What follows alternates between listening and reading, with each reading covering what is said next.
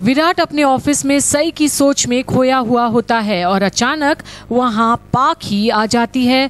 फूलों का एक गुलदस्ता सजाती है और वहीं जब विराट चौंक जाता है, उसे वहाँ देखकर और पूछता है कि वो कैसे आई वहाँ पे तो बड़े प्यार से पाखी बोलती है कि लंच टाइम है तो इसलिए वो वहाँ विराट को खाना खिलाने आई है और बोलती है कि जब साथ में खाना खा रहे हों तो इसे लंच डेट ही समझे।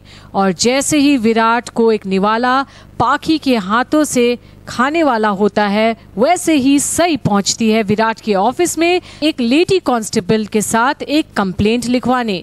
और विराट तो तैयार हो जाता है, पर पाखी तुरंत टोक देती है सई को, ये बोलकर कि अभी तो लंच टाइम है और ऑफिशियल काम तो ऑफिशियल समय पर ही होता है ना।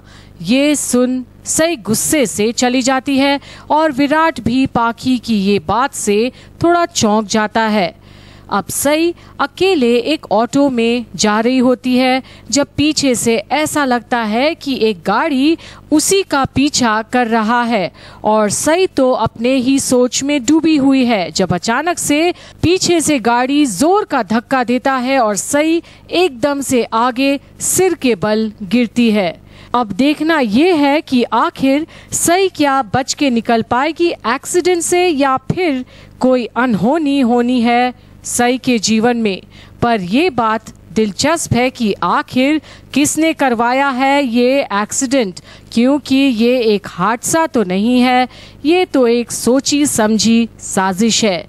क्या इसके पीछे पाखी का हाथ है? सई को रास्ते से निकालने के लिए, हमेशा के लिए।